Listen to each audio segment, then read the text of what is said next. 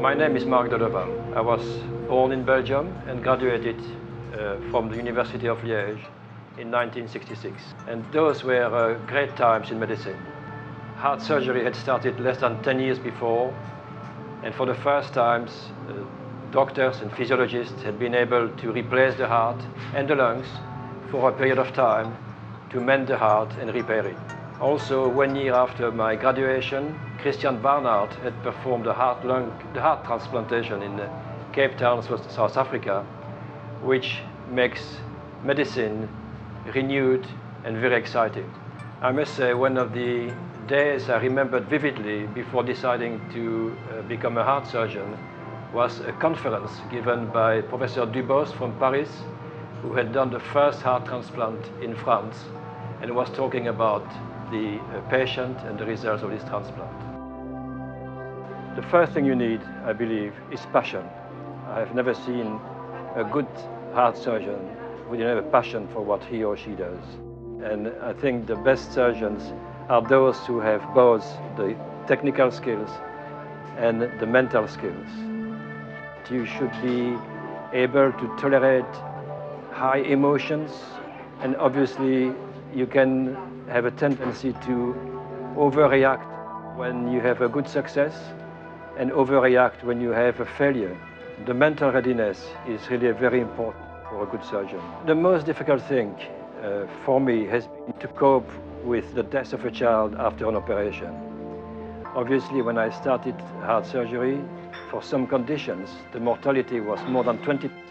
Obviously now the mortality is much lower, and the next generation of heart surgeons has the advantage of not having to go through learning curves, which in the early days of cardiac surgery was very painful.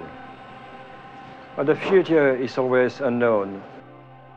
The progresses made in 30 years have been enormous, and there is no reason to believe that progress will not continue in the future. But I believe that emerging technologies, like nanotechnology, for example, may become important in the mending of some cardiovascular conditions. The same applies to, to the stem cell research, for example, which may uh, lead to new treatments for heart failures.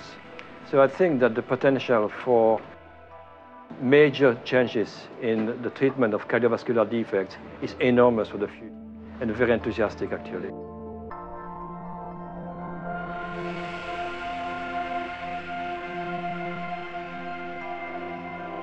What are my greatest satisfactions? The first one is without any doubt to have had the privilege to help so many children. Number two is to have had the opportunity to train many doctors who are now doing the same job in many countries, in particular in Italy.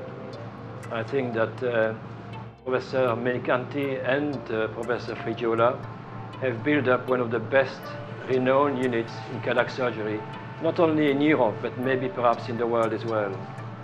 My greatest satisfactions in terms of research has been my association with the Politecnico di Milano, where I uh, collaborated very closely with uh, Dr. Dubini and uh, Migliavacca, actually since 1993. There has been a very successful collaboration, it is a good example of what we call now the translational research, where basic researchers and clinicians work together and try to help each other in solving a complex problem. That has been very rewarding. Well, they apply their technology called computational fluid dynamics. They make mathematical models of the circulation of the vessels in the heart, and we can make virtual operations, test their efficiency with the computation, and then apply them to uh, patients. And that has allowed us to refine the technique of repairing very complex hearts. And again, those modifications have been adapted worldwide. No? So that collaboration has been very exciting and uh, very successful. Well, I became interested in human errors, well, for two reasons. The first one is I have always been interested and intrigued by death following surgery. Whatever the circumstances, uh, when a patient dies after surgery, the surgeon has expresses a mixture of sadness and guilt, even if there is no mistakes, no component from, of their fault in the contribution of those days. And following that, I embarked into a very large-scale study where I engaged human factor experts to watch surgeons and surgical teams performing and find out what the human factors impact were on those outcomes. A delicate questions to ask a surgeon about his personal life. As I said at the beginning, I think the first qualification is passion. If you have a passion, you spend a lot of time for it and you give it priority. So inevitably, our families, I think, have suffered from this. And it is hoped that in the future, surgeons will be able to keep their passion and also to dedicate, dedicate enough time to their family. I think it's a wish for the next generation. And uh, I think the field remains uh, to be discovered. Many, many things remain to be discovered, and uh, we need new, a new generation who keep the same enthusiasm for creation, creativity, for research, in spite of the difficulties imposed by management and bureaucracy. So it's a great field. My future, in terms of surgeons or a human being, well, since I retired from my position at Ormond Street, I become more involved in uh, humanitarian activities. Actually, my mentor in that is behind you, is Sandro Frigiola, whose uh, accomplishments in that field has been outstanding. And uh, I've been inspired by him, and I'd like to do the same.